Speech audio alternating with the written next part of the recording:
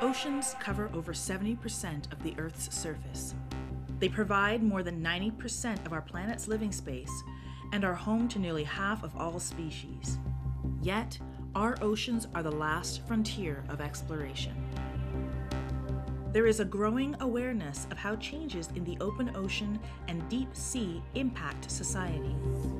Pollution, climate change, habitat destruction, and overfishing are major issues of concern. The processes causing these threats interact with one another to damage natural ecosystems, reducing biological diversity and economic productivity.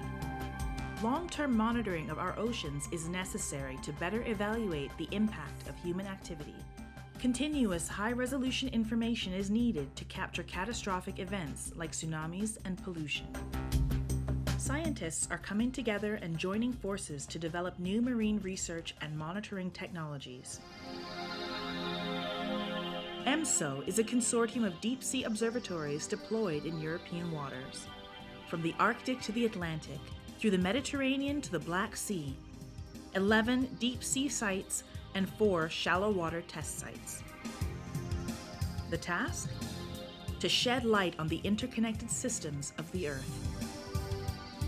Our objective is to provide reliable, science based information to researchers and other stakeholders, such as policymakers.